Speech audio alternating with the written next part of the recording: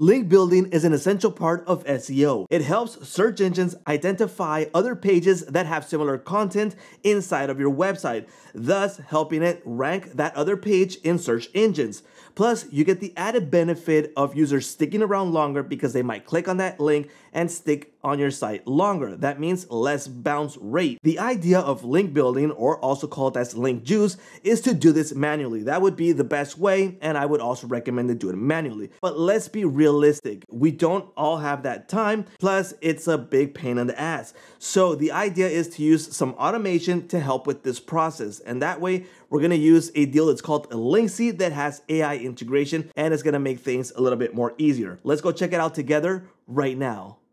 Linksy is the deal that's going to help us with link building. It starts off at $49 and let me show you what the deal is going to get you and then I'm going to show you how it actually works. So the $49 deal gets you one site. That means in one site you can use it for unlimited use and that's actually a pretty good deal for what it can do and I'll show you that in a bit. If you need more sites, jump into license tier 2 or 3 which is 6 sites.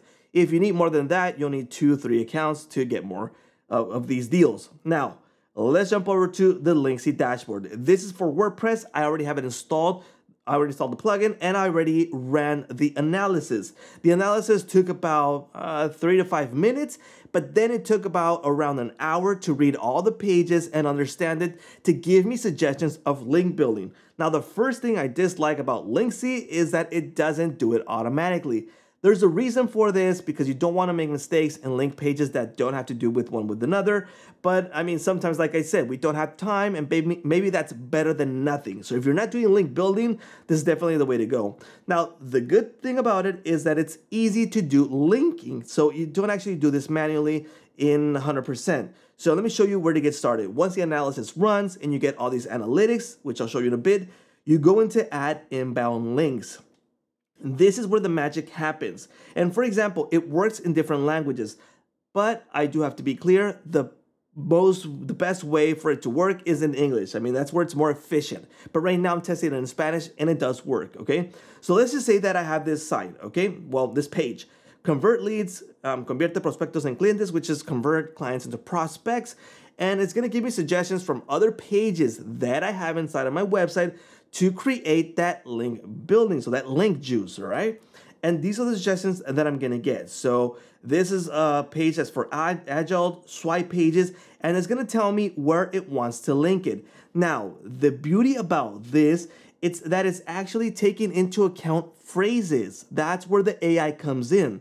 It's using phrases instead of using keywords. Now, other link builder systems use keywords. So it's gonna use one single word, for example, CRM, and it's going to create the link for it based on CRM, okay? But in this case, it's going to use the whole phrase. That's where the AI kicks in and the NLP, which I think it's pretty good. It makes things interesting and more unique. Now, there's several suggestions here with scores, and it's gonna let me know what I can use. Now, I can select each one of these and make the link building. Or I can just say, you know what, quick apply, and apply the first three, etc., four, five, whatever I said, automatically. So I'll set three and apply it, and it's gonna, it's gonna start doing it right now. And it's gonna add that link to those pages to link to this page that I click on. So just like that, it was just added. You can see I got that little green notification. And again, I can go back into add inbound links and select next page. So for example, this stocking image AI, all right? So this one, again, it's gonna give me suggestions from other pages that I have similar my content. And for example, here it is. It's gonna use this phrase from this page also from this page, I'm gonna get this phrase and connect it. Again, I can do a quick apply. I, I would recommend doing this with a little bit more thorough work. I mean, just reading a little bit more and adding it, okay? So that's how easy it is to add the inbound links. That's the main purpose of this system. Now, you can also use the link builder inside of each one of these posts that are created. Now, if I go into one of these posts, um, just this one, right, Evolup, I'll go into edit, here we go, even if you're using Elementor or another type of website builder, you still have this option here on the right. So go down here, you'll see Linksy. In the Linksy section, we also have the option to do a quick apply. Again, for the first two, the first three, etc. I can cancel, I can view these manually, see what ranking they have, and apply it if I like.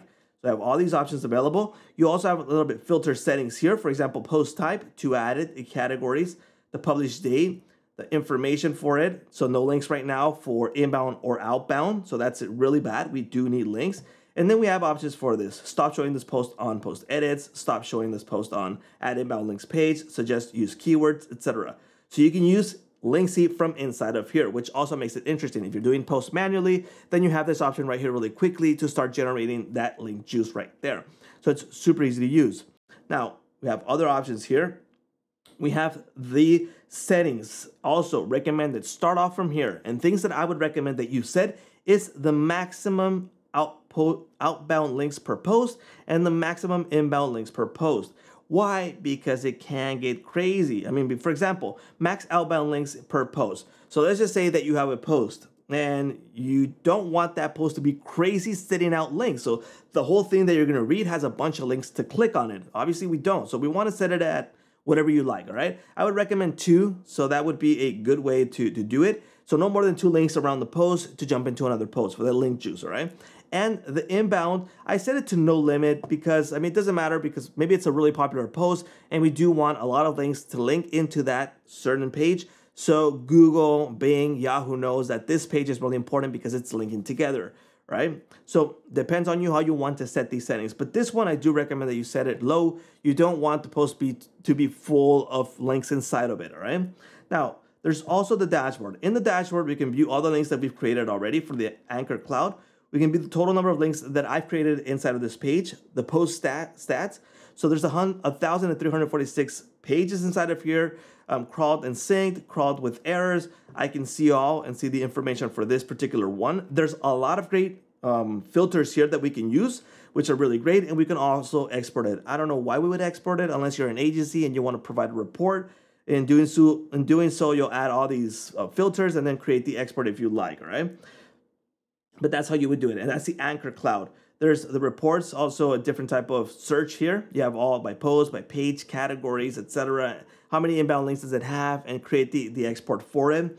There's the keyword rating. This is really interesting. So in the keyword rating, we're gonna set some keywords and again, it's going to give us some rating for it, which is pretty useful for later doing that link building, right? And then we also have the playground. Here we go. You can search for some keywords. For example, I don't know, AI, which is popular. Let's go ahead and search for that. Here we go. And now we got some AI here and we got some uh, scores that, that we can use for the research in the playground. But basically that is Linksy. Like I said, it's not 100% automatic, but it does help you with the link building really easily. So it's not the same as doing this manually every single one as to jump in each, each one of these pages and doing the link building manually, kind of manually, and setting it with the quick suggestions here, all right? So that makes it interesting. Like I said, it's easier than doing it with other link builders. That's more manual and based on keywords and not on phrases like it is on Linksy. Now, the plus about it is that it uses AI to use phrases. And the downside, again, like I said, is that it has to do it manually. It works with other languages, but you're not going to get as efficient results as it would with English because obviously that's the main language it's focused on right now. But there you go. If you want to grab Linksy, do consider the link in the description, which is an affiliate link. It provides me a small commission and it won't cost you a single cent more. Well, that's a wrap.